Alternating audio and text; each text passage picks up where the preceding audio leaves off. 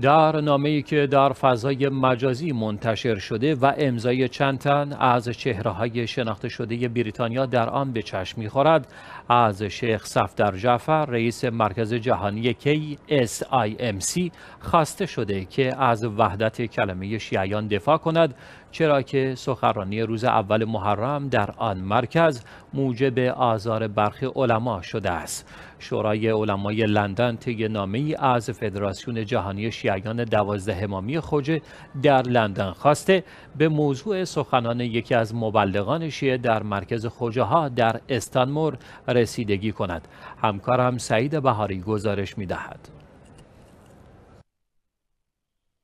چند تن از چهره های شناخته شده بریتانیا با امضای نامه‌ای مفاد یک سخنرانی در ابتدای محرم الحرام سال جاری را به باد انتقاد گرفتند. شورای هشت نفره علمای لندن به ریاست سید مرتزا کشمیری و سید هاشم موسوی نمایندگان آیت الله العظما سیستانی و رهبر ایران در انگلیس در نامه خود بدون اینکه به نام آن سخنران اشاره کرده باشند از رئیس فدراسیون خوجه ها خواستند که اجازه ندهد سخنان وی موجب اختلاف بین مؤمنان و مانع وحدت کلمه ایشان گردد.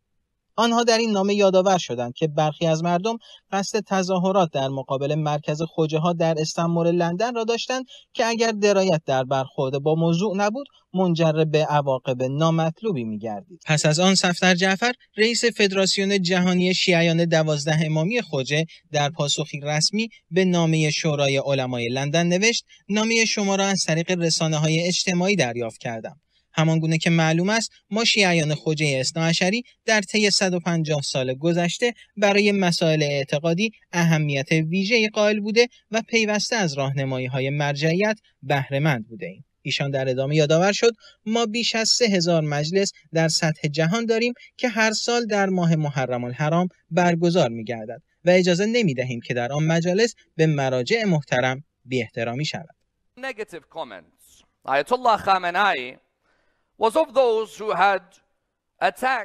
اما قصه از کجا شروع شد؟ سید امار نقشوانی سخنران جوان و پرطرفدار کشورهای غربی در یکی از سخنرانی های خود در ابتدای محرم الحرام سال جاری به انگلیسی خواندن شیعیان انتقاد و نسبت به این گونه نامگذاری ها و ایجاد تفرقه بین شیعیان توسط رهبر کشور ایران و رسانه های وابسته به ایشان اعتراض کرده بود. ایشان در قسمتی از سخنرانی های خود تاکید می کند که آیت الله خامنه ای با تقسیم بندی شیعیان به انگلیسی و ولایت فقیهی موجب حمله شدید علیه شیعیان انگلستان از یک سو و ایجاد جنگ و فتنه سختی بین مریدان نظام ولایت فقیه و مقلدان آیت الله العظما شیرازی از سوی دیگر شده. و این امر در حالی است که شیعیان کشور انگلستان عموما از ایران، عراق، پاکستان، هند و دیگر کشورها بوده و یا اینکه تازه مسلمانانی از مردم بومی کشور انگلستان هستند نه کارمندان ویژه MI6 و سازمانهای اطلاعاتی این کشور. پس از آن شورای علمای بریتانیا بیانیه‌ای برای ایجاد فشار به سید امار نقشوانی صادر کرد.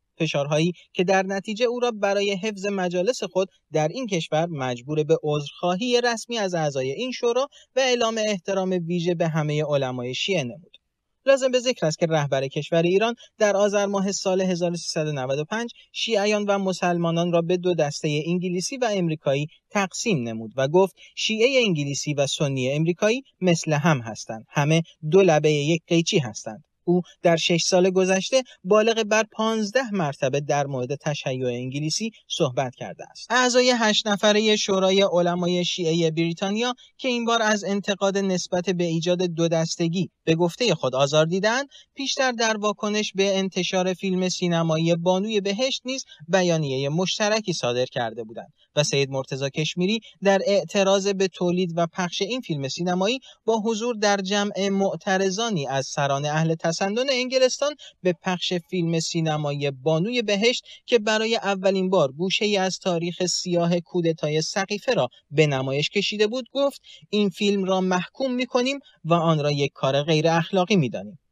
بزرگترین نماینده آیت الله العظما سیستانی در اروپا همچنین حضور در جمع سنی ها و دیگر مذاهب در کشور انگلستان را نعمتی بزرگ یاد کرده و بابت آن نعمت خدای متعال را شکر نمود. ایشان اما امروز در بین شورای هشت نفره علمای شیعه در لندن انتقاد از آقای خامنه ای را به دلیل ایجاد اختلاف بین شیعیان و دستبندی آنها به انگلیسی و غیر انگلیسی توهینآمیز تلقی کرده است. امری که موجب دو دستگی شدید و ایجاد فتنه بین شیعیان سیاسی و تابع نظام ایران موسوم به ولایت فقیهی ها و شیعیان غیر سیاسی در سراسر جهان شده. عنوان شیعه انگلیسی دستاویزی برای بهتان به مخالفین و منتقدین نظام ایران مخصوصا مقلدین آیت الله العظما شیرازی در سراسر جهان گردیده. موضوعی که قدمتی به درازای عمر حاکمیت کنونی ایران دارد و شخصیات فراوانی را هدف قرار داده. حتی آیات اعزام شریعت مداری خویی و سیستانی. سعید بهاری اخبار شیعه.